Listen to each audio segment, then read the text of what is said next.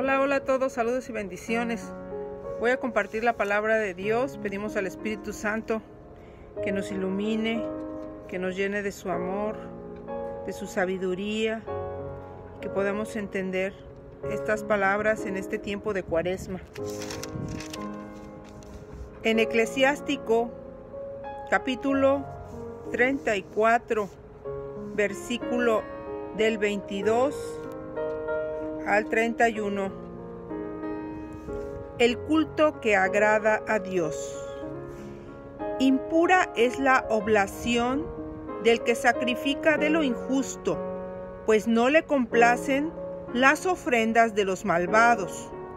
El Altísimo no acepta los dones de los impíos, ni perdona los pecados por la multitud de las víctimas. El que ofrece un sacrificio con los bienes de los pobres es como el que inmola al hijo delante de su padre. Pan de necesitado es la vida de los pobres. El que se lo priva es un asesino. Quien le quita el pan de su sudor es como el que mata al prójimo y derrama sangre. Quien retiene el salario del jornalero edifica, el otro destruye. ¿Qué provechos sacan si no fatiga? Uno reza, otro maldice. ¿A quién de los dos escuchará el Señor? Quien se purifica de tocar a un muerto y de no y de nuevo lo toca, ¿de qué le sirve su purificación?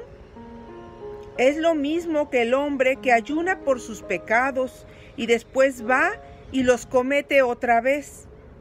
¿Quién escuchará su oración? ¿De qué le servirá humillarse? Palabra de Dios. Te alabamos, Señor.